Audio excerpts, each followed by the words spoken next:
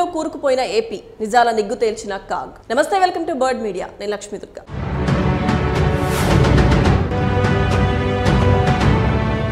అప్పు చేసి పప్పు కూడు అంటారు కానీ అప్పు చేసి మళ్ళీ పప్పు కాదు అప్పు కూడే తినాలి ఏపీలో. అవును కాగ్ అదే చెబుతోంది. ఇక నుంచి అప్పులు తీర్చడానికే కొత్త అప్పులు చేయాలంట.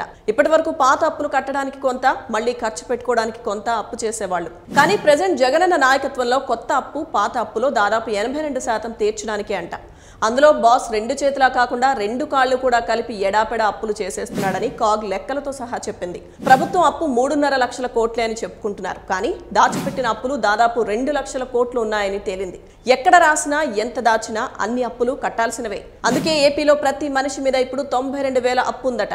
అందుకని ఈసారి ప్రతి ఒక్కరూ ఓటుకు తొంభై రెండు వేలు తీసుకుని ప్రభుత్వానికి కట్టేస్తే పోద్ది అంటూ సోషల్ మీడియాలో సెటైలు నడుస్తున్నాయి. కాకపోతే అప్పులు చేయడంలో అందరూ గొప్పోళ్ళే. చంద్రబాబు సైతం రెండున్నర లక్షల కోట్లు అప్పు చేశారు. అంతకు ముందోళ్ళు చేశారు. అంతెందుకు? మిగులు రాష్ట్రం అని చెప్పిన కేసీఆర్ కూడా అప్పులు భారీగా చేశారు. వీళ్ళందరికీ శుద్ధులు చెప్పే ప్రధాని మోదీ ఆర్థిక మంత్రి నిర్మలా సీతారామన్ అయితే మరింత భారీగా అప్పులు చేశారు.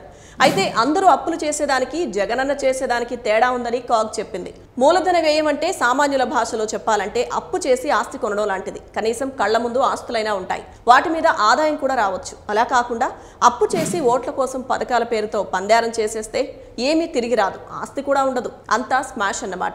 మన జగనన్న చేసే అప్పుల్లో తొమ్మిది శాతం కూడా మూలధన వ్యయం చేయడం లేదంట.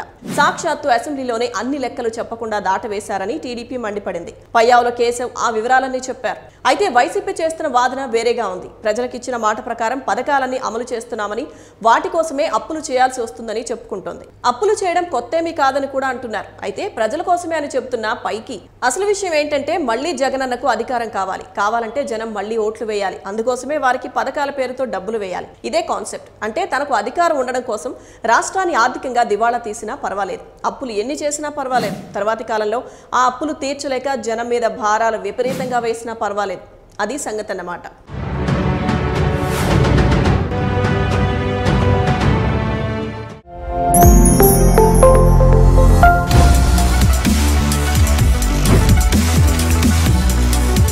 మీ అభిప్రాయాలను కామెంట్ రూపంలో తెలపండి.